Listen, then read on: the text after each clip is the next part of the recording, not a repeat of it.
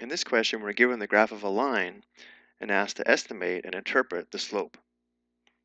So because we have the graph of the line, we can find the slope a couple ways. We could estimate the coordinates of two points on the line and then use the slope formula where the slope is equal to the change of y divided by the change of x. But because we have the graph, we can also determine the slope by determining the vertical change divided by the horizontal change between two points. This is why the slope is often referred to as the rise divided by the run. Let's begin by determining the coordinates of two convenient points. For example, this point here would have coordinates 100, comma 120. And for the second point, let's use this point here, which would have coordinates 50, comma 65. Of course, any two points would do, but notice how it's easier to estimate the coordinates of these two points. And now to find the slope graphically, we want to think about how we have to move vertically and horizontally to go from the point on the left to the point on the right. We'd have to go up this far and right this far. So because we're moving up, the vertical change is going to be positive, and because we're moving right, the horizontal change will also be positive. So the vertical change is going to be from 65 to 120, which is a change of 55. And again, because we're moving up, the vertical change is positive 55. And the horizontal change would be from 50 to 100. And again, because we're moving right, the change would be positive 50. Which means the slope, which again is equal to the vertical change divided by the horizontal change graphically, would be 55 divided by 50, which does simplify. There's a common factor of 5 here. We can also express the slope as 11 divided by 10, or as a decimal, 11 divided by 10 equals 1.1.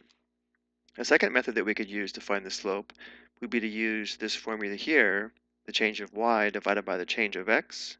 And let's also show this. So let's call these coordinates x sub 1, comma y sub 1, and these coordinates x sub 2, comma y sub 2. We know we're going to get the same slope, but let's go ahead and show it.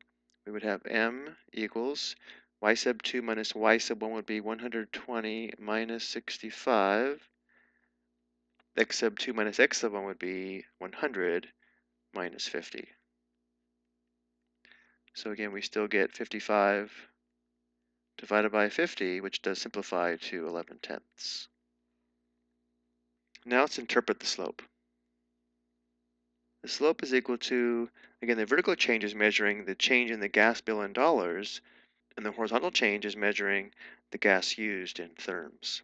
So the meaning of the slope is the change in the gas bill in dollars divided by the change in the gas used, which is in therms. So let's rewrite the slope using the units and we can use any form of the slope to understand the meaning.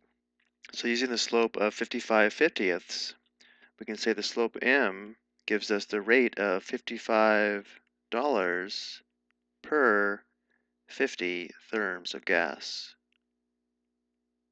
We can also say if the gas used increases by 50 therms, the cost will increase by $55. Using the slope of 11 tenths, this would give us the rate of $11 per 10 therms.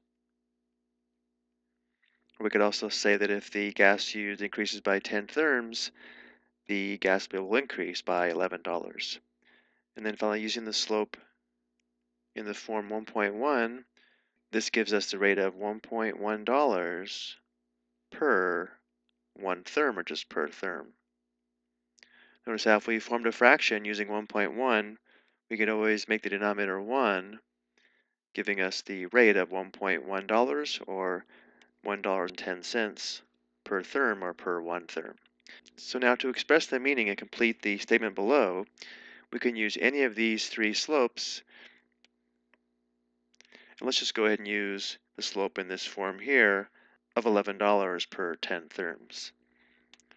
So we can say if the gas used increases by 10 therms, then the gas bill increases by $11.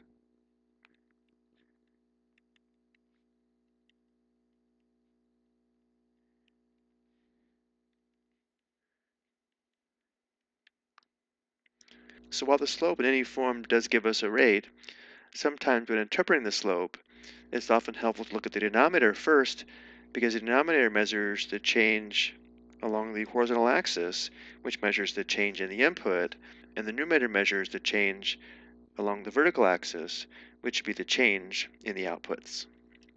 I hope you found this helpful.